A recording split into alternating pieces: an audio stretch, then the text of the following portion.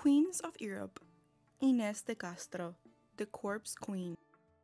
Galician noblewoman and courtesan Inés de Castro is well known for being King Pedro I of Portugal's posthumously acknowledged wife and former lover.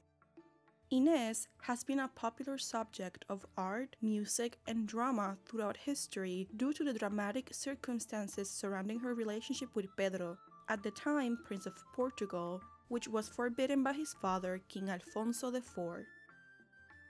Pedro Fernández de Castro Lord of Lemos and Sarria, and his aristocratic Portuguese mistress, Aldonza Lorenzo de Valladares, had a daughter, Ines, via natural descent. Her family was derived from both the Portuguese and Galician nobility.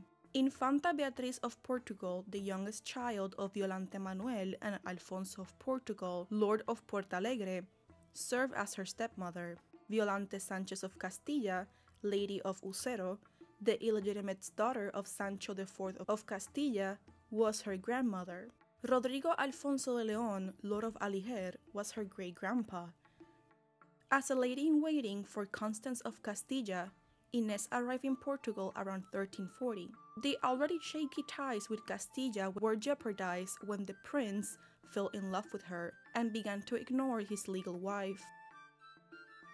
Prince Pedro's devotion to Inés also placed the exiled Castilian nobles extremely near to the throne, with her brothers serving as the prince's confidants and allies.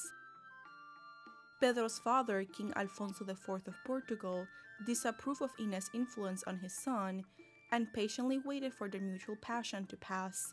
However, it did not.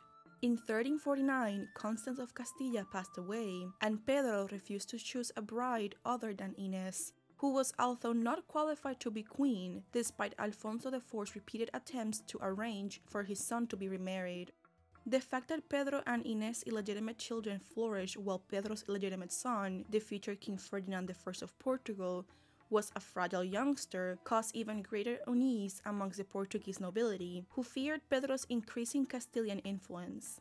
Inés had been exiled from the court by Alfonso IV in 1344, but Pedro stuck by her and referred to her as his genuine love. Alfonso IV finally ordered Inés' execution after several attempts to keep the lovers apart.